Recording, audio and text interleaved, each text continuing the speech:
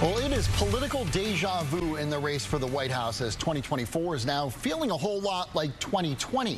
Following a Super Tuesday that went heavily for former President Donald Trump, Nikki Haley dropping out of the GOP race just hours later, that setting up another showdown between Biden and Trump.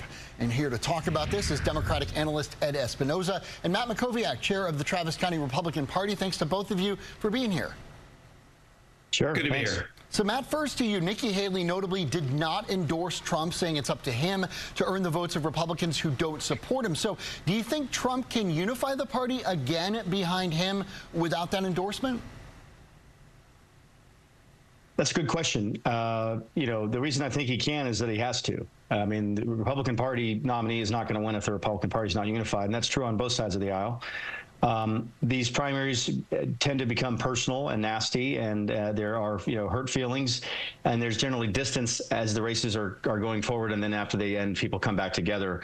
Look, Nikki Haley has the potential uh, to be uh, play a role in the Trump administration, just as she did in the past. She could be a Secretary of State candidate or something else potentially. Um, I have no doubt she does not want to see Joe Biden uh, serve another term as president, and that she deeply disagrees with him, particularly on national security policy. So they've got to figure out how to get together. The Trump team knows that. Uh, I realize that a lot of Trump's base doesn't like Nikki Haley. I understand that, but they're going to have to unify, and they will, particularly now that she's dropped out. Ed, Trump is now the presumptive GOP nominee. Is that a good thing for the Biden campaign, especially with polls that did show Nikki Haley actually doing pretty well against the president? Whether it's a good thing or a bad thing for the Biden campaign is is not really the point. I think the point is that Trump was inevitably going to be the nominee in this election, no matter what. And now we're just kind of getting out, out of the formalities at this point. But going back to your question about Nikki Haley, you know, Trump can bring Nikki Haley back into the fold. The issue is, can he bring Nikki Haley voters back into the fold?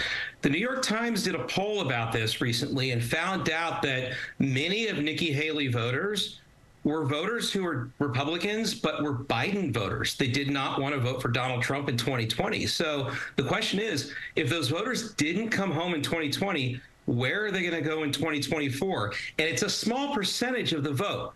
But remember, states like Arizona and Georgia were decided by less than a point, around a point. And in this case, voters of that magnitude can make a difference. And with Trump heading towards the nomination, Matt, do you think his legal battles could potentially derail his campaign before November? Well, we have to see how it all plays out. He's had a good year on that front because the cases that that that his opponents were trying to push to this year have all been either delayed or have had huge problems with them, the Georgia case being the best example of that. Uh, I think it looks less likely now that any of these these uh, four jurisdictions are going to complete their work before the election. We'll have to see. It depends. We have the Supreme Court ruling, I think, in April on the question of immunity. So there's a lot in place there. If there's a conviction, we'll have to see how that affects swing voters. But I think generally the voters understand what's going on here. They have a view about Trump and they have a view about Biden. The election is not going to come down to these legal things. It's going to come down to whether people like the Biden presidency more or they like the Trump presidency more. That's what this election is going to be about. And Ed, on that point, just got a few seconds here. How does Biden change his messaging this year compared to four years ago, with some polling showing uh, a lot of people not impressed with his presidency so far? I don't know that it needs to change too much because I think it still comes down to trust. And I'm sorry, Matt, but those criminal charges do make a difference for these swing voters in swing states. 53% of swing voters say they, they're not impressed with these charges at all. And there is a question of trust. Donald Trump not accepting the 2020 election results, uh, questioning whether or not he respects institutions of democracy. What will he do? Will he be a lame duck president or will he try and serve a third term? These are real questions that, of trust that I think voters will have. And I think Biden needs to make that case. Guys, one thing we can agree on, eight months to go, a lot can still happen. Uh, Ed, Matt, yeah. thanks so much for being here. We appreciate your perspective. Thank you. Thanks.